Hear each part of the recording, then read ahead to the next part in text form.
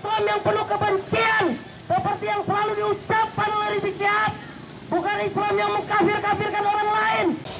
Hanya takbir kita juga bisa takbir saudara-saudara. Kita bisa takbir. Betul kan? Takbir! Takbir! Takbir! Saudara-saudara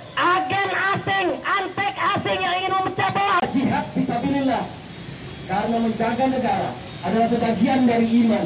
Hubul watan iman. Ini kehancuran saudara-saudara sekalian. Saudara-saudara. Menjaga negara adalah saya meminta dengan hormat dan penuh ketulusan kepada saudara-saudara untuk bersama saya bersama kami semua di sini dan Ya kita, mengobarkan kebencian kita nama saya memaki-maki. Wibowo ya. Dari kita dari Aliansi Anak Bangsa Cinta Kedamaian. Pada hari ini hari Senin tanggal saya 7 seperti Desember tahun ulama. 2020 kami bersama segenap penduduk menekan kepada pemerintah, mendukung kepada pemerintah untuk memperlakukan proses hukum yang ada pada saudara Rizik Sihab. 220 juta. Juga kami mendukung pihak TNI Polri di dalam Berapa membersihkan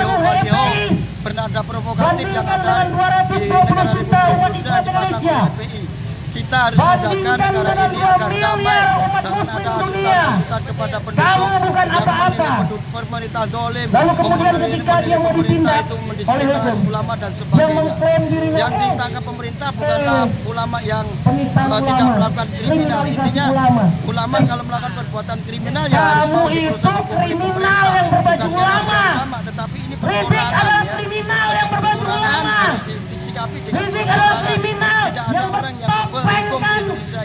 itu. Ketua Alaihi Wasallam. Mau dia Saudara-saudara, MUI, mau ketua MPI, mengklaim semuanya Nabi. tidak ada yang kepala hukum.